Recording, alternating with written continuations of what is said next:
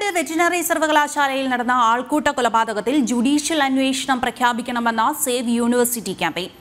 S F I ക്യാമ്പസുകളിൽ ഇപ്പോൾ നടത്തുന്നത് രാഷ്ട്ര വിദ്യാർത്ഥി രാഷ്ട്രീയമല്ല. മയക്കുമരുന്ന് സംഘങ്ങളിലെ അകപ്പെട്ടവർ വിദ്യാർത്ഥികളെ മൃഗീയമായി വേട്ടയാടുന്നതിന് നേതൃത്വം നൽകുന്നുവെന്നും സേവ് യൂണിവേഴ്സിറ്റി ക്യാമ്പയിൻ കമ്മിറ്റി ആരോപിച്ചു. എസ് എഫ് ഐ പ്രവർത്തകരുടെ പരസ്യ വിചാരണയെ തുടർന്ന് വിദ്യാർത്ഥി മരിച്ച സംഭവത്തിൽ പോലീസിന്റെ പ്രത്യേക ദൌത്യ സംഘം അന്വേഷണം നടത്തുന്നതുകൊണ്ട് സത്യം പുറത്തു കൊണ്ടുവരാനോ യഥാർത്ഥ പ്രതികളെ നിയമത്തിന് മുന്നിൽ കൊണ്ടുവരാനോ കഴിയില്ലെന്നാണ് വിമർശനമുയരുന്നത്. കാമ്പും കഴമ്പുമുള്ള വിദ്യാർത്ഥി രാഷ്ട്രീയത്തെ കുഴിച്ചുമൂടിയ എസ് എഫ് ഐ ക്യാമ്പസുകളിൽ ഇപ്പോൾ നടത്തുന്നത് വിദ്യാർത്ഥി രാഷ്ട്രീയമല്ല. മയക്കുമരുന്ന് മാഫിയ സംഘങ്ങളിൽപ്പെട്ടവർ വിദ്യാർത്ഥികളെ മൃഗീയമായി വേട്ടയാടുന്ന കുറ്റകൃത്യങ്ങൾക്ക് നേതൃത്വം കൊടുക്കുന്ന ധാരണ സംഭവങ്ങൾ ആവർത്തിക്കുകയാണെന്നും സേവ് യൂണിവേഴ്സിറ്റി ക്യാമ്പയിൻ കമ്മിറ്റി ആരോപിച്ചു.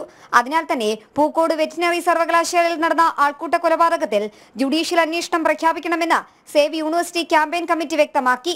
സിദ്ധാർത്ഥന്റെ ഭൗതിക ശരീരം ക്യാമ്പസിൽ കൊണ്ടുവന്ന ദിവസം വി രജിസ്ട്രാർ തുടങ്ങിയ ഉന്നത ഉദ്യോഗസ്ഥർ പ്രൊഫസർമാരുടെ ഉദ്യോഗ കയറ്റത്തിനുള്ള അഭിമുഖം നടത്താൻ കാട്ടിയ വ്യഗ്രത ഇവരുടെ ഉത്തരവാദിത്തരഹിത നടപടികളുടെ ഉദാഹരണമാണെന്നും കുറ്റപ്പെടുത്തി. രജിസ്ട്രാർ ഡീൻ എന്നിവരെ അന്വേഷണം പൂർത്തിയാകുന്നതുവരെ തലസ്ഥാനത്ത് നിന്ന് മാറ്റി നിർത്തണമെന്നും save university campaign committee chairman R Sasikumar secretary M Shajir Khan എന്നിവർ ആവശ്യപ്പെട്ടു.